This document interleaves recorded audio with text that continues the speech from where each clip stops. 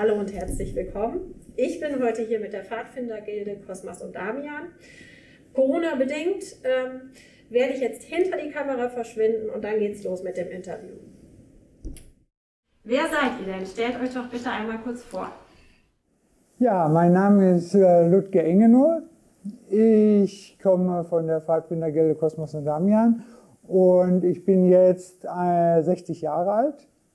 Ich war fast mein ganzes Leben bei den Pfadfindern. Ganz am Anfang kam ich aus der Jugendarbeit und ich arbeite im Franz-Sales-Haus. Dankeschön. Ja, mein Name ist Angela Ströter und ich bin nicht nur die Vorsitzende der Arbeitsgemeinschaft Selbsthilfebehinderter Menschen in Essen, sondern bin auch Pfadfinderin. Gehöre auch der Pfadfindergilde Kosmas und Damian an, genauso wie der Ludger Ingenohl. Und ähm, ich bin dieses Jahr genau 40 Jahre Pfadfinderin und bin 59 Jahre alt.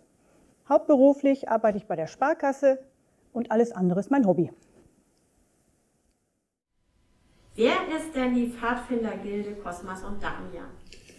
Die Pfadfindergilde ist ein Erwachsenenverband. Wir sind alles Erwachsene im Alter von 36 bis 71. Und wir kommen aus dem Jugendverband, aber jetzt sind, wissen wir, wir sind erwachsen und machen einfach unser Pfadfindersein weiter. Wir führen unsere Jugend weiter ins Erwachsenenleben. Und das machen die, weil die alle Spaß dran haben. Wir treffen uns jetzt nur noch einmal im Monat. Vorher hatten wir alle 14 Tage, wie früher auch im Jugendverband. Und wir machen einmal im halben Jahr einen Plan, gemeinsam mit allen Leuten, was Interesse, was sie für Interesse haben. Und dementsprechend äh, sieht das Programm dann auch aus. Was sind denn die Pfadfinder oder Pfadfinderinnen?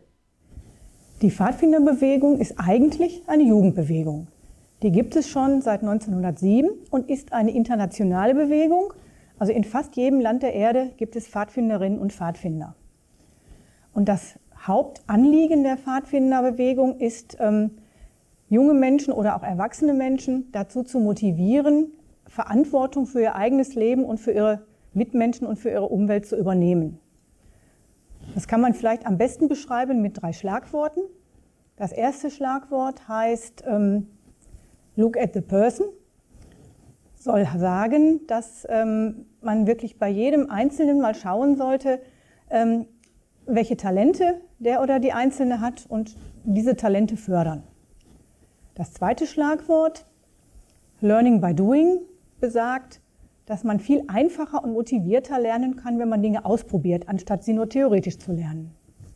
Und das dritte Schlagwort heißt Pedal Your Own Canoe, ähm, was so viel sagen soll wie übernimm Verantwortung für dein eigenes Leben. Die Pfadfinderbewegung ähm, geht zurück auf einen britischen General, Lord Robert Baden-Powell, so hieß er. Ähm, und äh, wie gesagt, ist in vielen, vielen Ländern der Erde unterwegs. Und ähm, es gibt ein paar Themen, die auch viele Pfadfinderinnen und Pfadfinder äh, auf dieser Welt vereinen. Das sind halt Themen wie soziales Engagement, wie Umweltschutz, internationale Begegnungen und so aktuell wie noch nie Friedensarbeit. Ähm, jetzt kann ich ja bei dir zum Beispiel sehen, du trägst ein Halstuch. Ähm, hat das was zu bedeuten? Genau. Das Halstuch ist ähm, das internationale Erkennungszeichen der Pfadfinderinnen und Pfadfinder. Also alle Pfadfinderinnen und Pfadfinder auf dieser Welt haben Halstücher in unterschiedlichen Farben, die dann auch unterschiedliche Bedeutungen haben. Was machen denn erwachsene Pfadfinder oder Pfadfinderinnen? Bei Jugendlichen ist ja so, dass sie äh, die Entwicklung äh, stark im Fokus haben. Da gibt es auch die Stufen und durch die Stufen in den Pfadfinder Jugendverband ist ja auch das Programm fest. Bei Erwachsenen haben wir andere Themen, haben wir natürlich erwachsene Themen. Wie geht es den Menschen, was, wie leben die und wie kommen die miteinander klar so. Pfadfinder machen ihr eigenes Programm und da sind natürlich dann Projekte wichtig, wir hatten schon einmal das Projekt zur Nahrungsmittel, haben wir geguckt, was wir essen. Dann waren wir einmal mit den Weltreligionen unterwegs, da haben wir auch eine Moschee besucht. Und das nächste Projekt, was wir jetzt machen, ist Umwelt. Da nehmen wir auch teil am Sauberzauber in einer Woche. Ähm, und was hat die Pfadfindergilde Kosmas und Damian mit der Selbsthilfe behinderter Menschen zu tun? Ja, die Frage ist berechtigt. Wir sind nämlich gar keine klassische Selbsthilfegruppe. Aber wir sind eine inklusive Gruppe.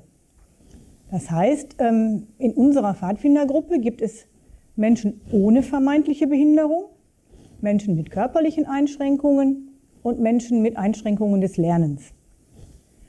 Und unsere Umgangsformen, unser Selbstverständnis ähm, beinhaltet halt, dass wir auf Augenhöhe miteinander umgehen und jede und jeder die gleichen Rechte und Pflichten hat. Und wenn jemand mal eine Assistenz benötigt, dann helfen wir uns gegenseitig.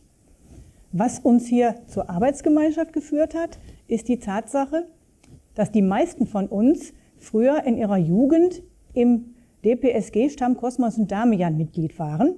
DPSG, Deutsche Pfadfinderschaft St. Georg, ein großer katholischer Jugendverband.